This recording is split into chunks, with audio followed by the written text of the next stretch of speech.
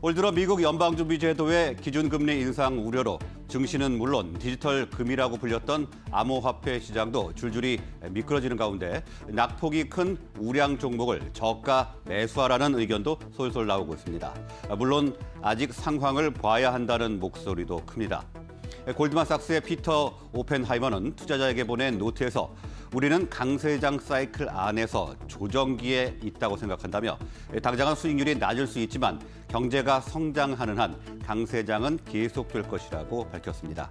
지금이 저가 매수 기회라는 설명입니다.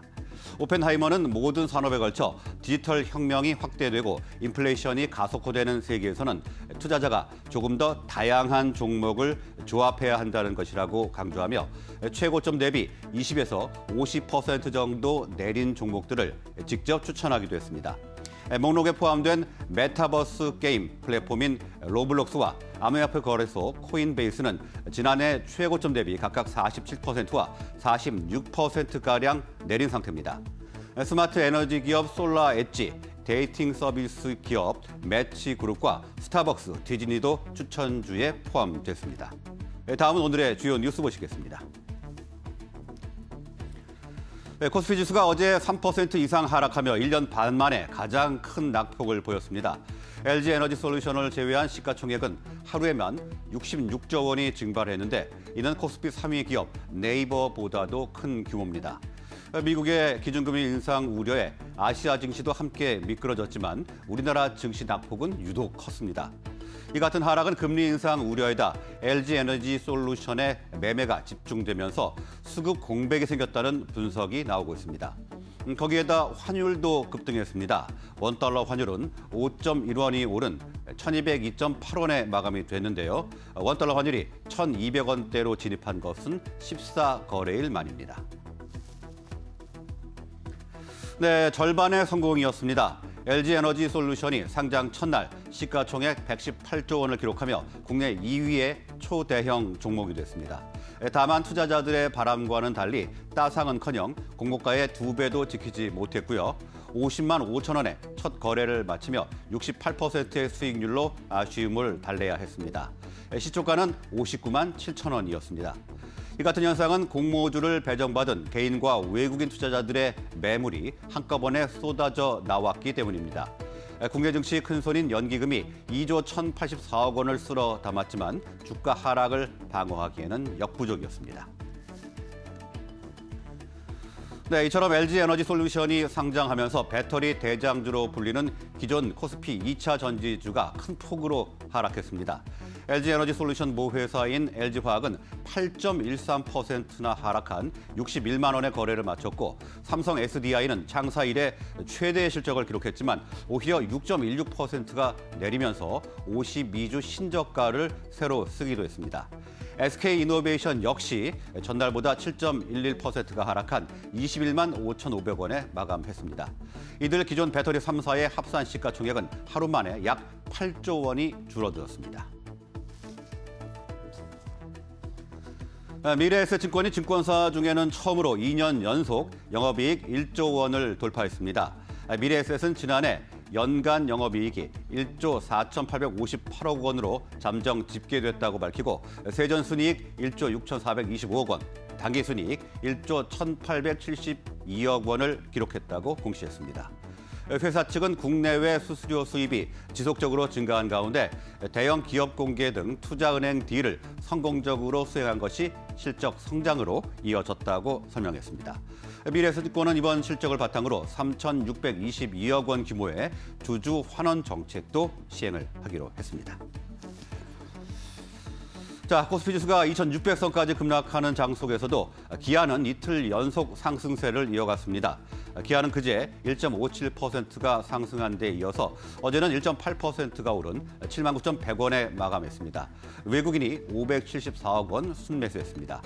어제 급락장에서 코스피 시총 상위 50개 종목 가운데 기아와 LG 이노텍만 올랐습니다.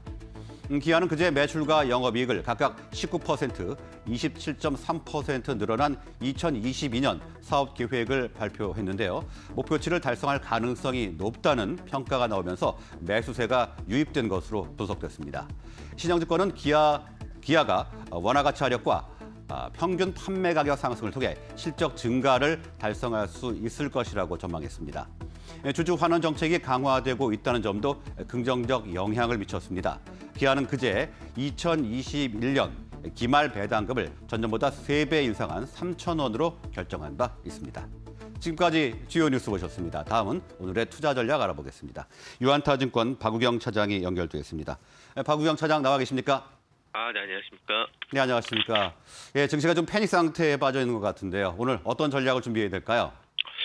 네, 상당한 상당히 어려운 시장이 좀 연출되고 있습니다. 뭐 긴축에 대한 이슈, 그다음에 뭐 인플레이션에 대한 그런 그 우려감, 그다음 최근 들어서 우리나라 LG 에너지 솔루션이 어저께 좀 상장을 하고 함으로써 수급적인 요인까지 상당히 좀 불안정한 시장들이 좀 지속이 되고 있는데 그 중에서도 아무래도 우리가 좀 어, 진, 지수가 좀 안정이 되고 종목들의 하락이 조금 안정이 된다라고 한다면은 다시 좀 성장성 있는 산업으로 대한 그 전환도를 좀 빠르게 좀 일어날 수 있을 것 같아서 자동차 반도체에 대해서 유명한 종목 두 종목을 좀 말씀을 드려보겠습니다. 하락장이 안정될 때 아, turnaround 될 수 있는 종목들을 좀 분석을 해 보셨는데요. 그러면 어, 종목 어떤 종목이 있습니까?